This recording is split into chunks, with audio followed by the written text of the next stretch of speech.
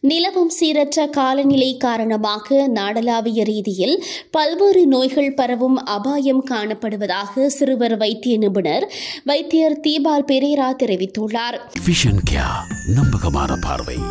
எங்க பார்த்தாலும் இப்ப விஷன் கேயா இதன்படி வயிற்றுப்போக்கு மற்றும் வைரஸ் காய்ச்சல் போன்ற நோய்கள் பரவும் அபாயம் அதிகரித்துள்ளதாகவும் அவர் குறிப்பிட்டுள்ளார். அத்துடன் வைரஸ் காய்ச்சலின் அறிகுறிகளாக வாந்தி அஜீரணம் காய்ச்சலுடன் கூடிய வயிற்றுவலி போன்றவை காணப்படும் என்றும் அவர் கூறியுள்ளார். இதே நேரம் இலங்கையில் இந்த வருடத்தின் கடந்த ஐந்து மாதங்களில் இருபத்தையாயிரம் டெங்கு நோயாளர்கள் இனம் காணப்பட்டுள்ளதாக டெங்கு கட்டுப்பாட்டு பிரிவு தெரிவித்துள்ளது. பல பாடசாலைகளில் நுழம்புகள் பெருகும் இடங்களை இனம் காணுவது மிகவும் முக்கிய விடயம் என அதன் பணிப்பாளர் விசேட வைத்திய நிபுணர் டாக்டர் சுதத் சமரவீர தெரிவித்துள்ளார். இது தொடர்பில் கருத்து வெளியிட்ட அவர் டெங்கு நோயாளிகளின் எண்ணிக்கை பாரிய அளவில் அதிகரித்துள்ளது.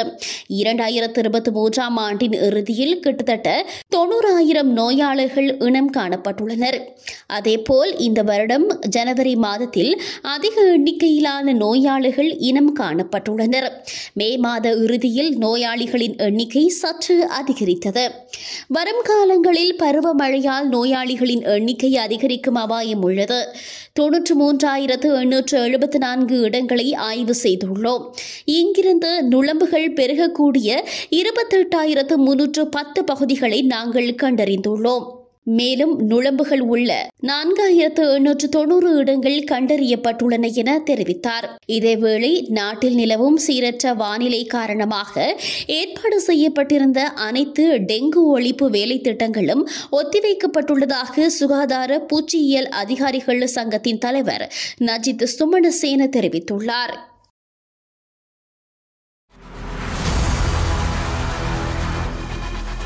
இலங்கையின் முதல் நிலை முதற்கர செய்தி வழங்குனர் வீரகேசரியில் குறும் தகவல் செய்திகளை உடனுக்குடன் தமிழில் பெற்றுக்கொள்ள டயலாக் வலையமைப்பிலிருந்து ஆர்இஜி இடைவெளி விகி என்று பதிவிட்டு எண்பத்தேழு தொள்ளாயிரத்து அறுபது என்ற எண்ணுக்கு குறுஞ்செய்தி ஒன்றை அனுப்புங்கள். வீரகேசரி செய்தியுடன் இணைந்திருங்கள்